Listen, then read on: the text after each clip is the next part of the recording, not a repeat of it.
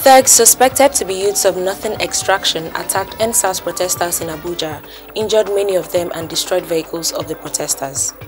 Hi, welcome to What's Happening. These are the top 10 stories now. At number 10, 15 commuters kidnapped in Ughelli North Council area of Delta State last Wednesday have been reportedly released. The 15 victims were freed on Tuesday morning after spending a week in the abductors camp. Last Thursday, the driver of the interstate transit bus, including four others, was released. It was reported that an unknown number of persons had been abducted along the busy route, with about five sustaining bullet wounds in the attack. The freed victims allegedly paid 500,000 to 5 million naira each before they were freed. Also, the manager of a new generation bank, who was kidnapped on his way to work in Effurun Uvwie Council area last Monday, has been released by his captors. At number 9, Yahoo has announced plans to shut down Yahoo groups from December 15th over huge decline in usage. Verizon, which bought Yahoo in 2017, announced the decision on its website on Tuesday, marking the end of the road for one of the largest message board systems on the web. On October 12th, the creation of new groups will be disabled on December 15th. People will no longer be able to send and receive emails from Yahoo. The website will also no longer be accessible. At number 8, a member of the House of Representatives, Nicholas Ossai, has lamented the devastation caused by consequential floods in communities in Delta State. According to Ossai, over 150 households have been displaced while about 90% of the Ndokwa East local government area of Delta has been submerged by the floods. Ossai, while briefing journalists in Abuja on Wednesday, noted that the communities are often prone to serious environmental disaster as a result of constant coastal flooding and erosion from the River Niger. He also urged the National Emergency Management Agency to urgently provide relief materials for the flood victims in accordance with Section 6 of NEMA Act.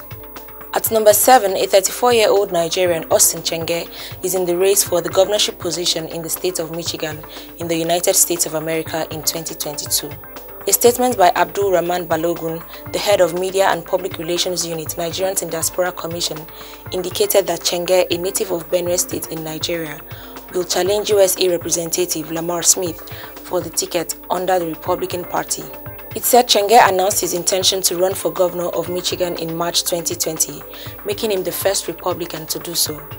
Chenge is a law graduate from the University of Birmingham, England.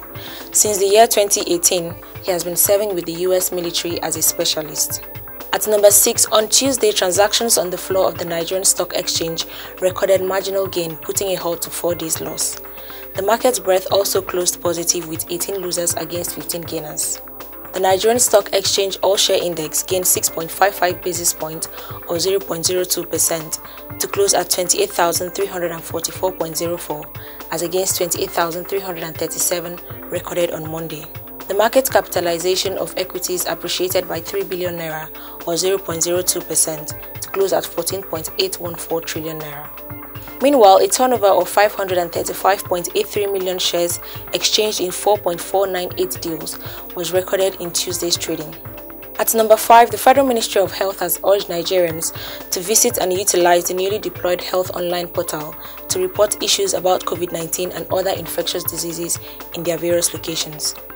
Permanent Secretary of the Federal Ministry of Health, Abdulaziz Abdullahi, stated this while receiving COVID-19 sensitization materials donated by the Institute of Electrical Electronic Engineers Young Professionals, Nigeria section as part of measures to stem the pandemic.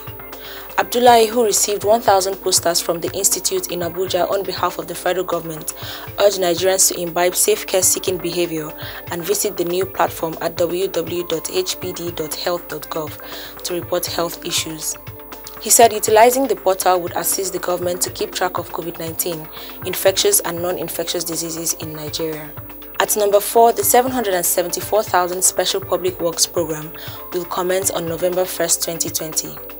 President Muhammadu Buhari approved the request of the Minister of State for Labour and Employment, Festus Keyamo, to reschedule the commencement date of the program from October 1st to November 1st.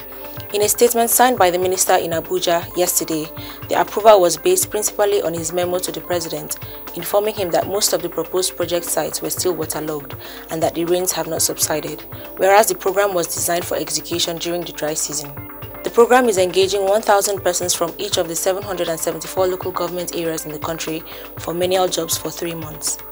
At number 3, the Senate has directed its committees on petroleum downstream and gas resources to investigate the recent gas explosions in Lagos State.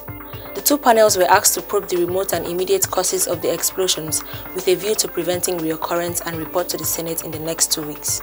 The Senate took the decision following a point of order moved by the senator representing Lagos West Senatorial District Solomon Adeola on the issue the National Emergency Management Authority and the Federal Ministry of Humanitarian Affairs, Disaster Management and Social Development were asked to immediately send relief materials to affected victims. The federal lawmakers also asked the federal government to offset medical bills of hospitalized victims. The Senate also asked the Department of Petroleum Resources, Lagos State Town Planning Authority, the Fire Service and the Federal Road Safety Corps to review the modus operandi safety procedures of transporting gas in Nigeria. At number 2, in the early hours of Wednesday, Cross River State Police Command busted a baby factory in Obot Udona village in Akamkpa local government area of the state, rescuing two pregnant women and three children. This was disclosed by the Commissioner of Police in Cross River State, Abdul Kadir Jimoh, while parading a three-man robbery gang that specializes in raping their victims and demanding oral sex. The police said the covert rescue operation was carried out based on credible intelligence, which they acted upon and apprehended the operator of the baby factory, Imabong Asuko. The commissioner revealed that the prime suspect operated the baby factory in a home and sells a baby for 500,000 naira each in collaboration with another suspect simply identified as Equal. Finally, at number 1, thugs suspected to be youths of northern extraction attacked EndSARS protesters in Abuja, injured many and destroyed vehicles of the protesters. It was gathered that the thugs attacked the protesters at Berger Junction with cutlass and other weapons a few minutes after the commencement of the protest on Wednesday. For more than three days running, EndSARS protesters calling for an end to police brutality occupied the Lekki Tollgate, Lagos State and Warri, Delta State on Wednesday. The protesters in Lagos were undeterred by the heavy rainfall. They trooped out in numbers in raincoats and with umbrellas to continue to demand for an end to police brutality, removal of the dreaded SARS units from the streets, justice for the victims, amongst other demands. Always remember to wear your mask, wash your hands and stay safe. That's all for today. See you next time on What's Happening.